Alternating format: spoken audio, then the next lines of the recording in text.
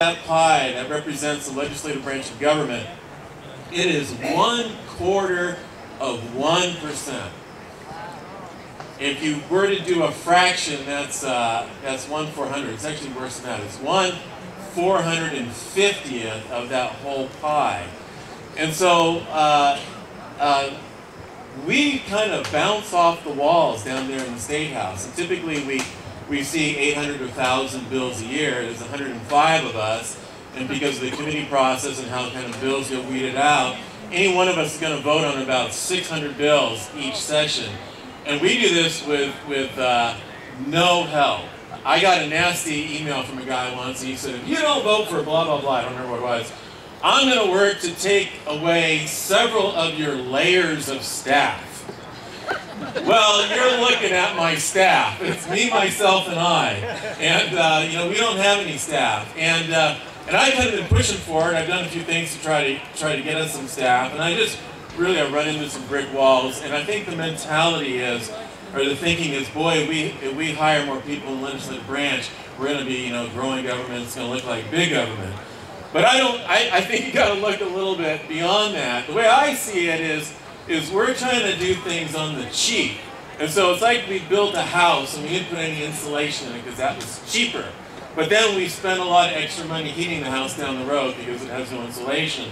And because the legislative branch of government is not really able to scrutinize the issues and the things and to really represent the people and dig into issues of corruption and, and uh, mishandling of constituents, um, we might be doing things cheaper in the legislative branch of government, but a whole bunch is getting by us. And I think if we added a few dollars here, we could save tens of millions over there.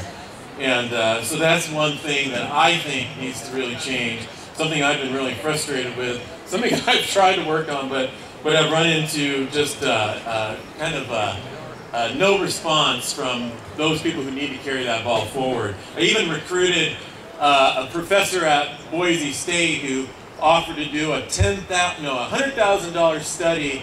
All he needed was his ex- out-of-pocket expenses taken care of. He's written a few books on state legislatures, and he recruited the nation's expert, who's written a whole bunch of books on state legislatures, a guy from Rutgers University who offered to donate his time. So we're going to get this hundred thousand dollar study for eight thousand dollars of out-of-pocket pocket expenses, but I I failed in my attempt to pitch that to the legislator, legislature and get them, get them to fund that. Well, I also want to say a few things about what I've been through in the last couple of years with my battle over the income tax. And, um, and in 19, or in 2010, I was the uh, fifth biggest news item in Idaho, which is not something I'm really particularly want to repeat and, um, and I don't even want to go into the gory details of what kept me in the news so much, but, but let me just really quickly recap uh, where I've been in. It's about a 15-year battle I've been fighting, and some of the things that I think relate to the legislature, and some of the things that are going to be a little unpleasant for me to say, but nonetheless, things I think you need to understand so you know what the playing field looks like, and we know how to, to run, advance the ball of liberty forward. So just real quickly, I sued the IRS because I thought the income tax was unconstitutional. My case took seven years. When I went to tax court, it took 17 months for the judge to, to rule on my uh, brief, which is highly unusual. And I went out there in that 17 months I went to see my file, and they couldn't find my file, which is also highly unusual. The tax court's in Washington, D.C., so I was in Washington, D.C. wanting to see my file, and they, they couldn't find it. And when I petitioned the, the uh, United States Supreme Court, the clerk of the court's office actually called me about five times and uh, wanted me to submit more documents and, and, wanted to talk to me about my argument. And, and uh, you know, all, all the people I know who have been down that road, I, I don't know anybody who got five phone calls from the, from the clerk's office. But nonetheless, they didn't take my case, and so that was the end of my judicial process, and that took seven years. Well, in the meantime, realizing that I was in for really quite the fight, I just started researching everything I could research about the income tax and reading all the literature I could read and realizing that there's a big gaping hole in the literature out there no one really addressed the intent of the, of the income tax. So I went back east. I probably, I don't know how many times went to the Library of Congress, somewhere around 12 to 14 times. And I literally read everything there was to read in the Library of Congress on the on the origins of the income tax. And typically, what I do is I just photocopy it all, and I go home with like 3,000 pages of photocopies. I felt like I was in Las Vegas, just feeding the photocopy machine all kinds of coins, and then I read it when I got home. But um, uh, so once I kind of got through all that material, I realized, you know, I need to write a book about this because I've discovered a lot of information that isn't in any of the literature, and I think people need to know uh, what I've discovered. And so I went ahead and I, I wrote a book called Constitutional Income. It's 450 pages and it's got about 7, uh, 700 quotes in it. And uh, so that kind of made me a target. And, and once I lost my case to the IRS, I, I didn't file returns during those years, so I filed all my returns. That actually took me a couple years to get caught up on that. But when I was all caught up, I got audited, no surprise there. But what was a surprise is the IRS wanted me to turn over the names and addresses, phone numbers and credit card numbers of everybody who bought my book as part of this audit. So I refused to do that, and I was very fortunate because I was defended by the uh, Center for Individual Rights, a First Amendment freedom of speech law firm in Washington, D.C. They defended me uh, pro bono, and we won that lawsuit. It took uh, two years, or actually four lawsuits. But anyways, when that was over, then we got on with the audit, and the audit took a little over more, uh, about another year and a half.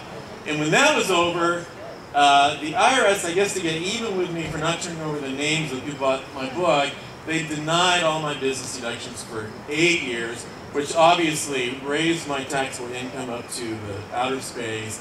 And then I ended up with, with liens on me. And I, I kind of made a couple of mistakes on how to handle that. And through lots of effort, but fruitless effort, I never got my day in court to challenge that decision of denying all those deductions. And so what you read, read in the newspaper about me was I owe these mega uh, thousands of dollars in taxes based on this elevated amount of income, but you never read about the elevated amount of income or where that came from or the fact that I I refuse to turn over the names and addresses of the people who bought my book, which is defending their First Amendment right to free speech to be able to read a book without the government looking over their shoulder. And you would yeah. think that.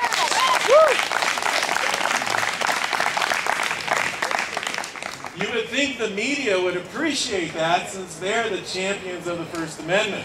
Well, uh, that was not the case, and I've learned a lot about the media uh, through that through that process. But what was kind of surprising to me uh, in, in all that controversy and being on the front page many, many times and, and, and being this big news item and having ethics complaints filed against me and, and the, the ethics committee working their way through that, uh, there was never any scrutiny over the book that I wrote. And um, the media never looked at the book. I gave them copies of it. Uh, there was never a tax professional, no law uh, professor, not anybody looking over the work that I did that was sort of the root of all this controversy. It was just the surface stuff, kind of this name-calling process and just kind of repeating uh, buzzwords and buzz phrases like the media is some kind of chatty Cathy that you pull the string and they just say something and really no critical analysis. And um, uh, and it really disappointed me. I mean, the name of my book was is constitutional just two words, and that word constitution's in there. And you know, when we serve in public office, we take an oath to defend the Constitution, both the national Constitution and the state.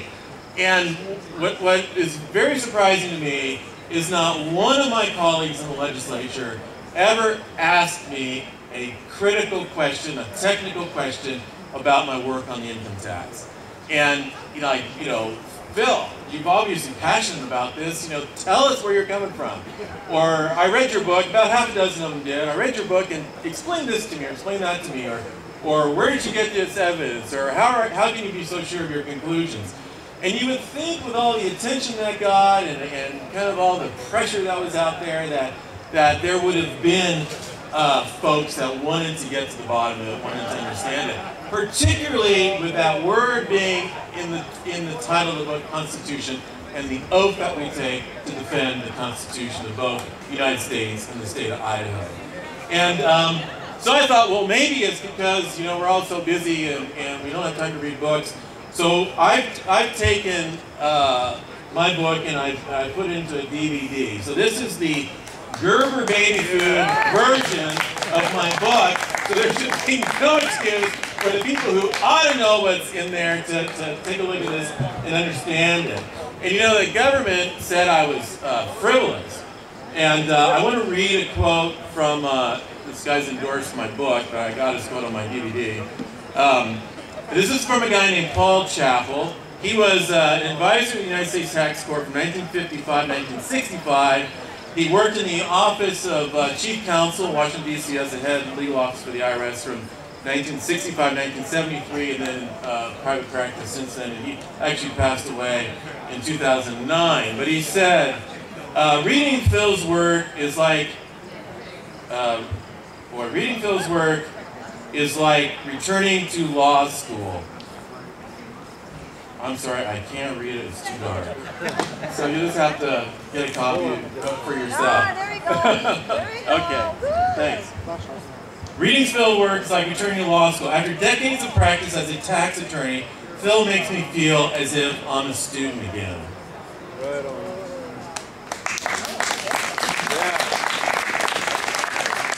so let me just let me just uh, describe uh, about uh, the first little piece of this of this DVD. What I did is I took the whole issue.